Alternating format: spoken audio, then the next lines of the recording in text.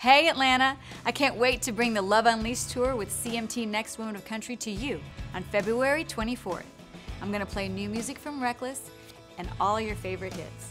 So let's just escape for a couple of hours and enjoy some music and hang out together. I'll see you there.